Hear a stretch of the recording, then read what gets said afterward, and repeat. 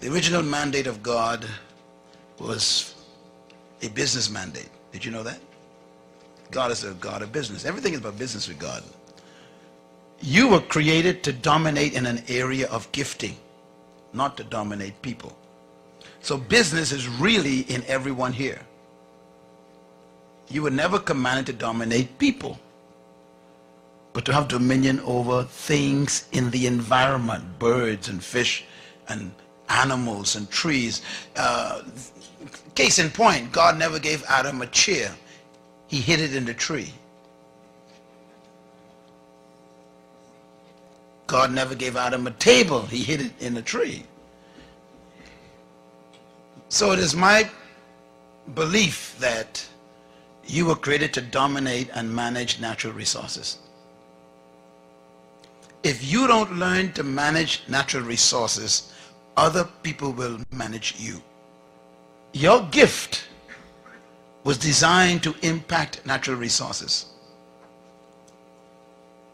And everyone in this room was born with a gift.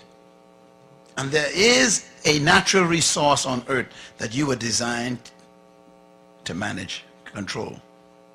Not people, but a gift that you manage that enhances the lives of people.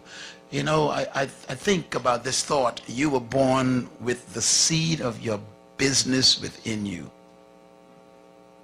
Everybody was born with business. Very few find it. Business is inherent in the human spirit. Can I put it another way? If you don't become deployed, you'll be employed. Let me try that one more time. If you don't deploy yourself, you'll be employed.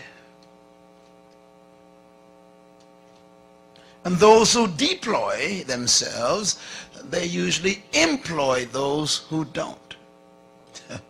so business, it exists within you.